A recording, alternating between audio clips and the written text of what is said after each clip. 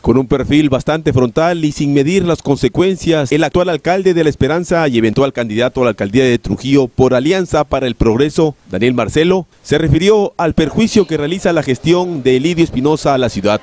Bueno, eso ya está claro, ¿no? El alcalde también tiene intereses ¿no? políticos, eh, está en una campaña agresiva, ¿no? En, cuanto a lo que es vender, su imagen de él, ¿no? Y lamentamos mucho, ¿no? Que esté invirtiendo recursos en esa campaña cuando Trujillo está lleno de huecos, ¿no? Trujillo está lleno de basura, ¿no?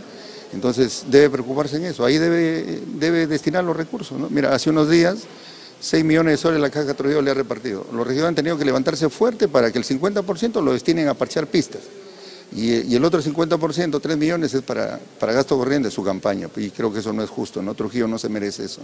De otro lado, Marcelo Jacinto respondió por el caso Plata como cancha y su implicancia en calidad de testigo del suceso. El caso recién se ha iniciado, eh, tendrá que demostrarse por parte de, del juez, ¿no? Si es que hay las pruebas suficientes para que amerite pues esta, que prosiga esta denuncia, ¿no? Pero eh, en nuestro caso, eh, si bien es cierto, nosotros asistimos a esa reunión, porque fue una reunión partidaria, pero ya cuando hemos nosotros sido citados por la Fiscalía, ¿no? donde hemos dado ya nuestra manifestación y nunca hemos recibido un sol por parte de la Municipalidad Provincial. Finalmente, la máxima autoridad edil de La Esperanza indicó que pese al respaldo que tiene de líder de Alianza para el Progreso César Acuña Peralta, las elecciones internas serán muy reñidas.